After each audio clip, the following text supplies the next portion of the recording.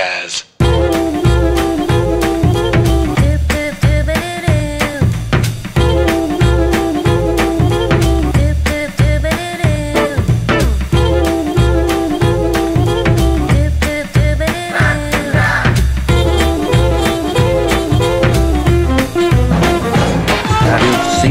well-to-do